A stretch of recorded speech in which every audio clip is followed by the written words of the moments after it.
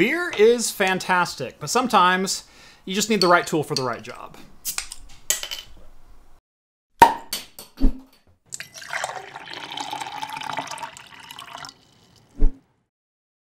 Today's video is brought to you by NordPass.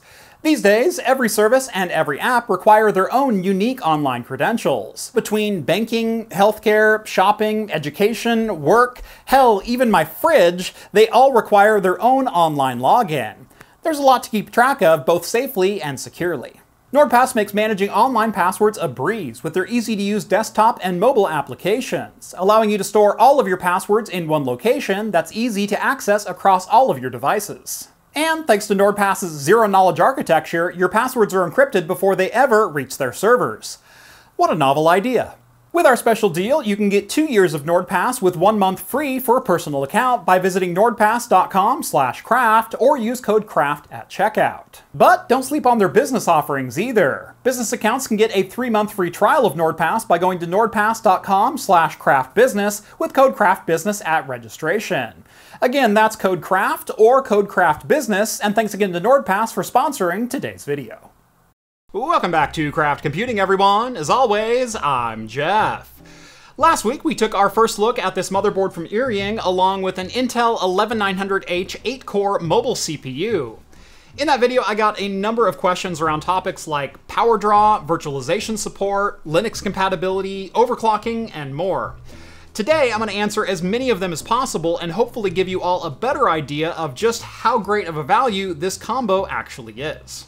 As a quick refresher, this is the Erying gaming motherboard with embedded Intel Tiger Lake 11900H. Not exactly the catchiest of all names, but it does tell you exactly what's inside. It's a micro ATX motherboard sporting an engineering sample of an Intel i9 11900H Tiger Lake mobile CPU with 8 cores and 16 threads. It has a base clock of 2.6 GHz and a max turbo of 4.8.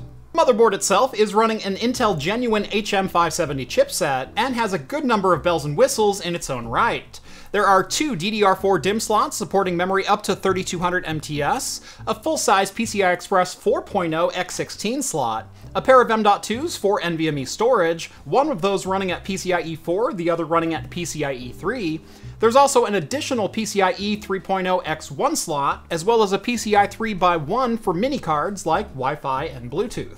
In the last video, we took a quick look at performance and found that while the CPU is unlocked for overclocking, we could only exceed the rated 45 watt TDP for up to 90 seconds before clock speeds came crashing back down to earth. 4.5 GHz was seen during gameplay, while 4.1 GHz was the max frequency achieved during synthetic benchmarks. During extended load on the CPU, though, that CPU frequency would drop all the way down to 3.6 GHz, although we never saw that slow down much in games. I was also unable to get the system memory running any faster than 2666, as the motherboard seemed to be locked into the XMP2 profile rather than the faster XMP1. So, overclocking and TDP limits are the first area that I wanted to investigate after the last video. Thanks to the comment section, a number of you pointed to other resources for finding those settings in the BIOS. One of the best videos that I found was from Vincent Sank, and while I don't speak Spanish, he had enough detail on video for me to be able to figure out everything I needed to start pushing the limits of this board. Be sure to check out his videos on this board as I've linked them all down in the video description. A couple quick changes, and I was able to get the XMP1 profile up and running, and my XPG memory kit had no problem running at its rated 3200 MTS. Of course, I still wanted more though, so I swapped out that set for a set of Patriot Viper Blackout 4000 sticks. Unfortunately, even with XMP, and even loosening some of the memory timings, nothing beyond 3200 was in the cards for us. In fact, even at 3200, the system was slightly unstable at times, crashing on more than one occasion in Cinebench, which is something I'd not experienced before on this motherboard. While I was eventually able to get 3200 stabilized, and memory speeds can be improved over the XMP2 profiles, there are still some pretty hard limits to what the silicon can support, which is likely why Erying set the default cap with XMP2 profiles only. Moving on to the CPU itself, the Erying 11900H is cooled using a copper slug between the CPU die itself and the cooler of your choice. While that may not sound like the most efficient solution, even with just a 92mm tower cooler, the max temperature we saw on this chip was just 82 degrees Celsius, which is well under the chip's rated 105 degree limit. But lower temps could theoretically allow the CPU to run even faster or at full boost for longer periods of time. So let's see what we can do to maximize cooling potential. The copper shim is held in place with four tri-wing screws on the back of the motherboard. Once those are out, the shim just kind of falls off the front, revealing the Intel Tiger Lake die underneath.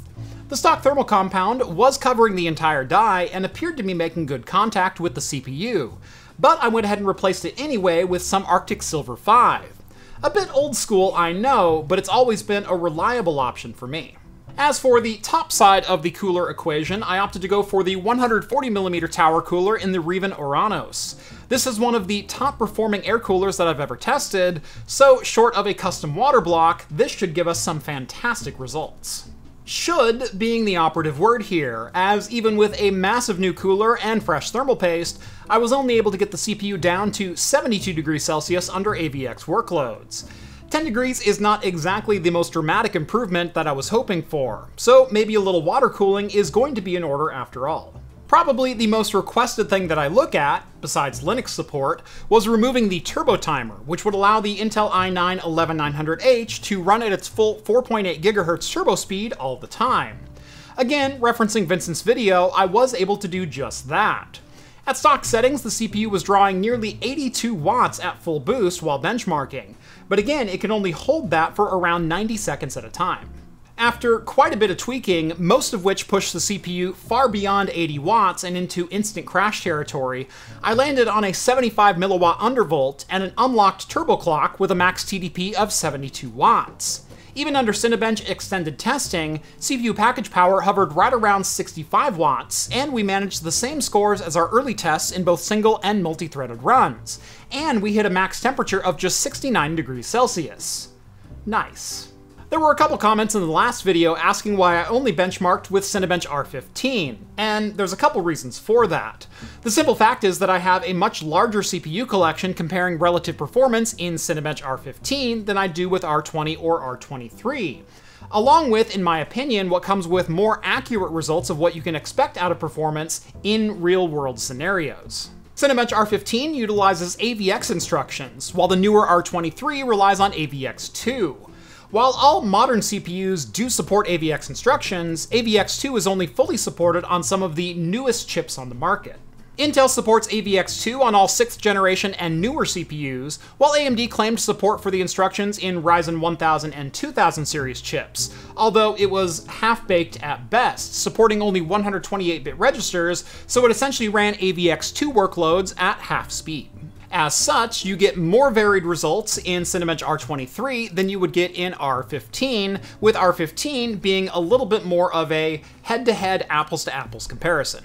Testing out this engineering sample 11900H in R23 netted some very impressive results, especially with the turbo running at full speed this time. Single-threaded testing resulted in a steady 4.7 GHz clock speed and a score of 1576.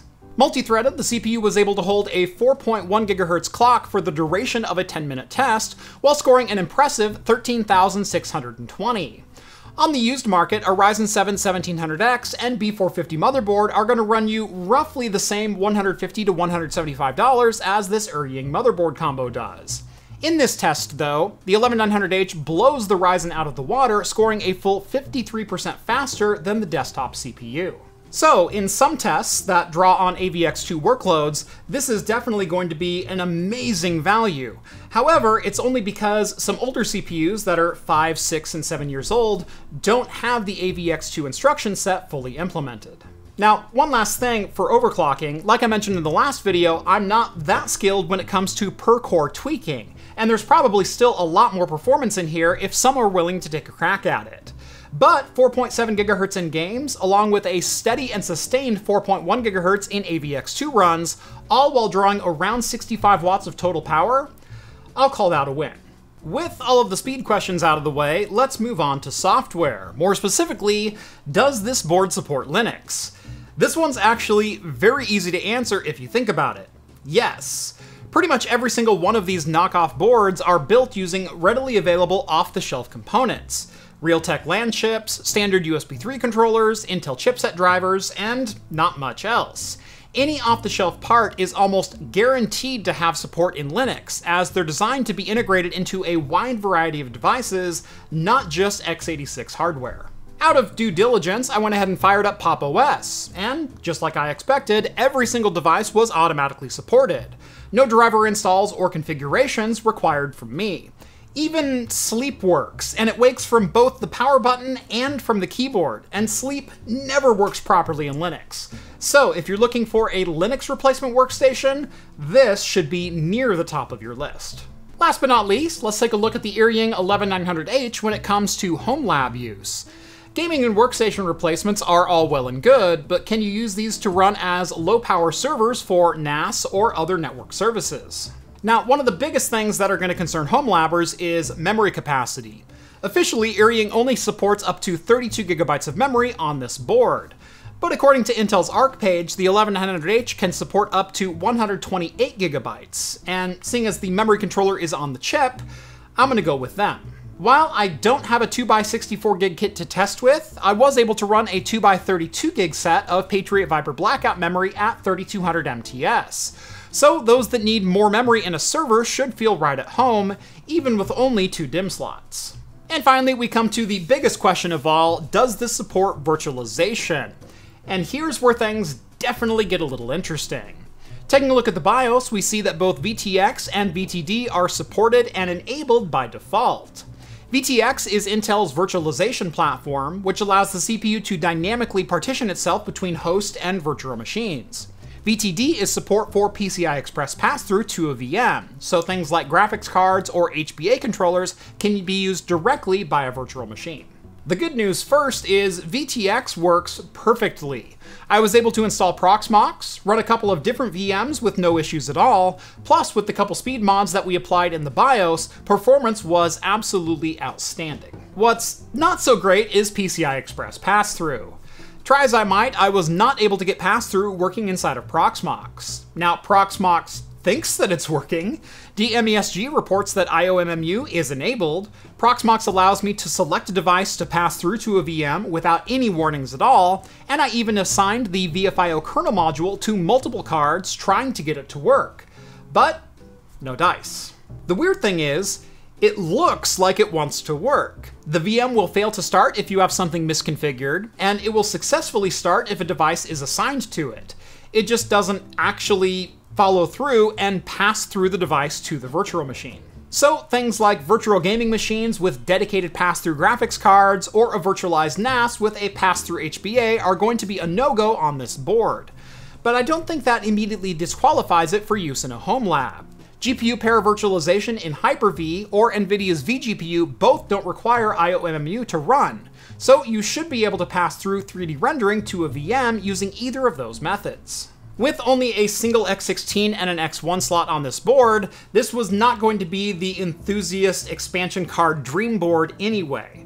But without diving too far down the expansion card and virtualization rabbit hole, there's definitely still some value to be had here. The Erying DIY gaming motherboard with embedded i9 11900 HES definitely still wins my award for weirdest diamond in the rough that I've ever found. The CPU performance and low power consumption cannot be understated here, with all but the newest of 8-core and higher desktop CPUs looking like they're decade-old has-beens by comparison. 65 watts of power draw also means the system can run silently in the corner of your bedroom or office, all while not acting like an overly expensive space heater. I'm impressed enough that I'm looking at putting a couple of these into my server rack to lighten up some of the virtual machine load on my file servers. A couple of these servers with 64 gigabytes of memory, a pair of NVMe drives, and maybe a Tesla P4 or so each, these would make for a very inexpensive replacement for some of the Haswell machines I still have running. And that's a project that might make it into a future video, so make sure you're subscribed if you want to see how they perform. As always, if you're interested in any of the hardware that I showed off today, make sure to follow the affiliate links down in the video description, as those really do help out the channel. On your way down there, make sure to drop this video a like and subscribe to Craft Computing as a second reminder if you haven't done so already. Follow me on Mastodon at Craft Computing at hostux.social for daily shenanigans like this. And if you like the content you see on this channel and want to help support me in what I do, consider joining the Patreon. Link is also down in the video description and gets you exclusive access to my Discord server. That's gonna do it for me in this one. Thank you all so much for watching, and as always, I will see you in the next video. And, uh, happy Mixology March, everyone.